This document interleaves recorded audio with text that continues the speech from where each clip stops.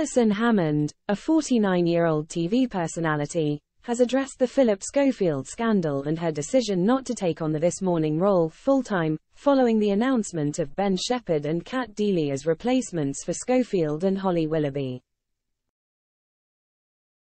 Hammond, known for her popularity with viewers, co-hosts the ITV daytime show with Dermot O'Leary on Fridays.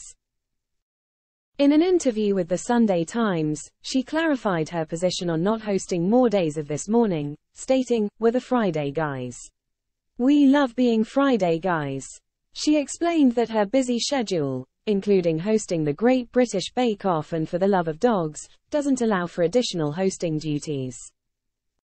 Contrary to speculation, Hammond stated she was never in contention to replace Holly Willoughby due to her existing commitments.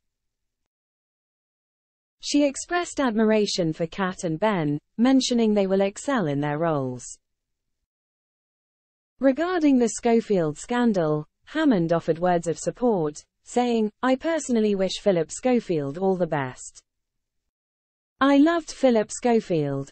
Looking ahead, Hammond discussed her future plans, expressing a desire for her own show titled Alison. She emphasized her love for her current job, but indicated ongoing aspirations for new ventures.